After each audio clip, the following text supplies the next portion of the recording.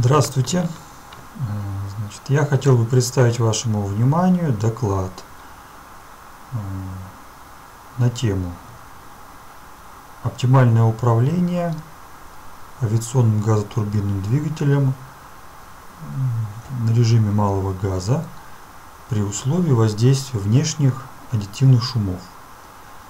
Доклад был подготовлен по материалам работы группы, участники которой представлены на данном слайде. Моя фамилия тут Валин.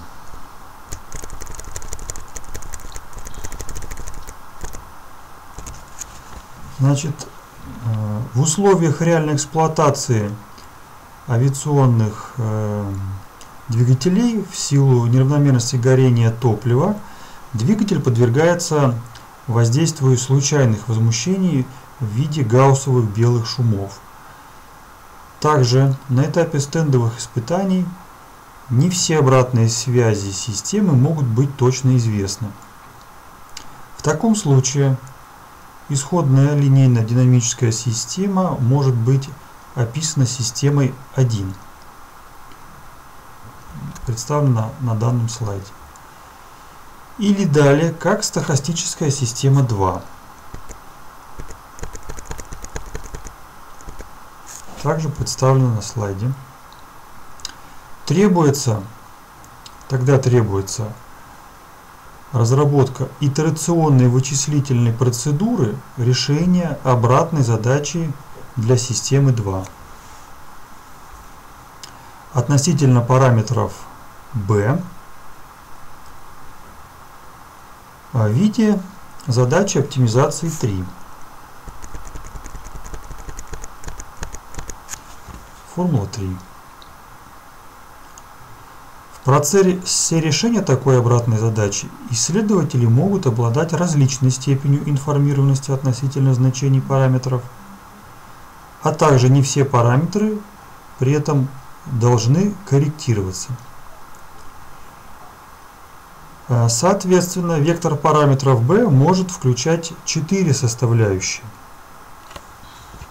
что показано на данном слайде.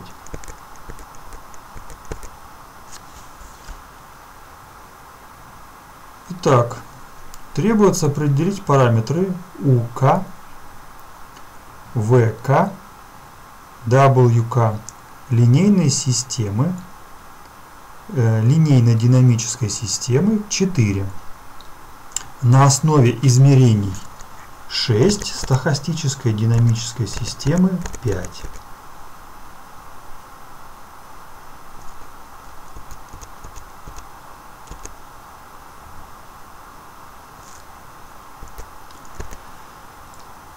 Из условия минимума, минимума функционала 3.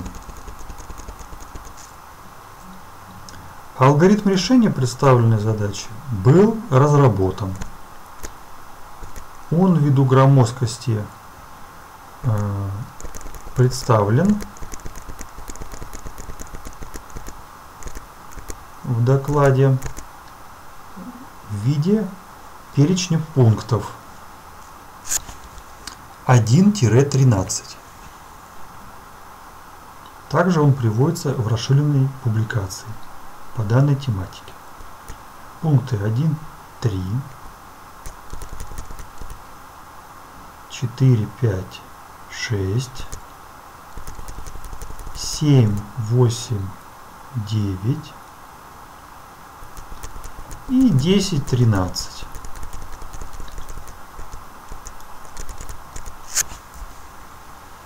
Был проведен вычислительный эксперимент – для объекта регулирования газотурбинный двигатель, далее ГТД. Рассматривался стендовый режим работы ГТД в режиме малого газа в течение первых трех секунд его работы. На рисунках 1 и 2 приводятся эталонные траектории перехода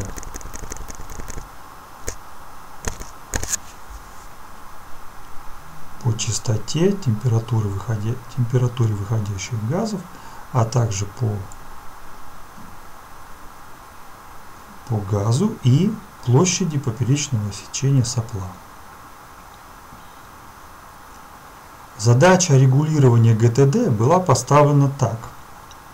Требуется скорректировать неизвестные параметры управления UG и UF системы 21-22 с начальными условиями 29.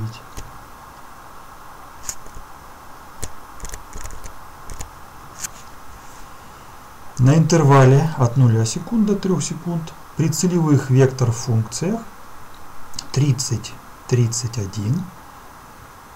При этом полученное управление должно было обеспечить оптимальные траектории перехода ГТД по оборотам N и температуре выходных газов тау. В вычислительном эксперименте использовалось авторское программное обеспечение, производящее вычисления согласно приведенному алгоритму. В качестве случайных возмущений системы и измерителя программа генерировала случайные процессы, некоррелированные белые гауссовые шумы.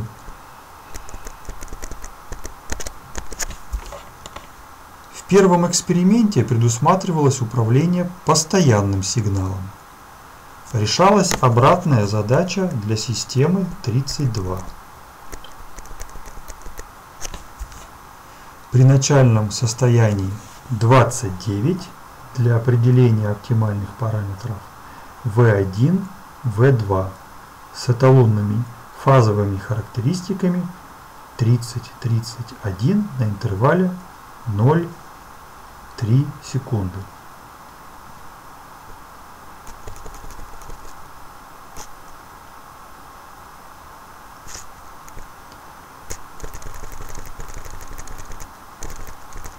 В результате скорректированное состояние достигалось за 4 итерации и были определены начальные и оптимальные значения управляющих параметров UG и UF также определялись значения неизвестных обратных связей М1 и М3.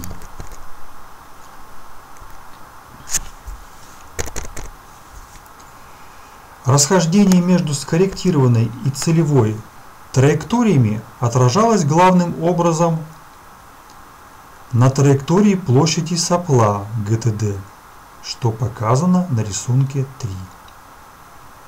Во втором эксперименте предусматривалось управление линейным по времени сигналом. При этом скорректированное состояние достигалось уже за 5 итераций. Также были получены выражения для линейного управления ГТД, формулы 36-37. На данном слайде представлена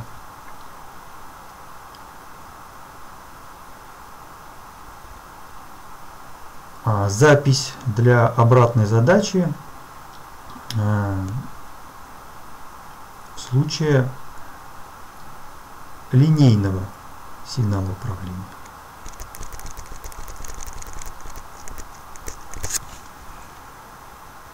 Значит, э, как я уже сказал, были получены выражения для линейного управления газотурбинным двигателем. Это формула 36-37, которые также отражены на рисунке 4.